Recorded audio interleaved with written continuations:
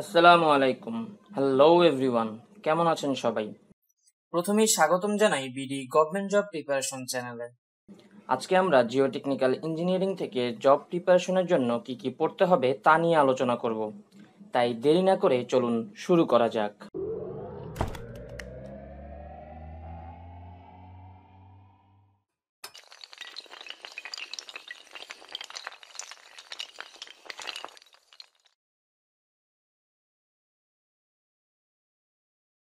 Welcome everyone গত video লেকচারে আমরা স্ট্রাকচার এবং আরসিসি থেকে কি কি বিষয়ে পড়তে হবে তা নিয়ে আলোচনা করেছিলাম।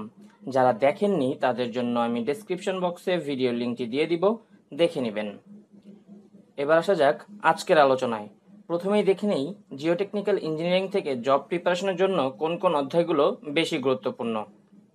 প্রথমেই ওয়েট ভলিউম রিলেশনশিপ প্লাস্টিসিটি এবং structure of soil compaction of soil consolidation of soil stress calculation bearing capacity pile foundation mat foundation permeability shear strength earth pressure R retaining wall soil stabilization SPT test এবং deep foundation এই টপিকগুলো খুবই গুরুত্বপূর্ণ। এই অধ্যায়গুলোরও কিছু গুরুত্বপূর্ণ special topics আছে, সেগুলো নিয়ে আমরা পরবর্তী ভিডিওতে আলোচনা করব। পরবর্তী ভিডিওতে আমরা ট্রান্সপোর্টেশন ইঞ্জিনিয়ারিং থেকে কি কি পড়তে হবে সেটা নিয়ে আলোচনা করব। আজকে এ পর্যন্তই।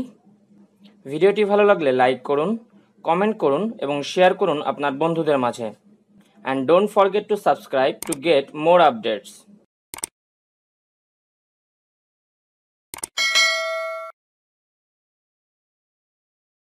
আল্লাহ হাফেজ।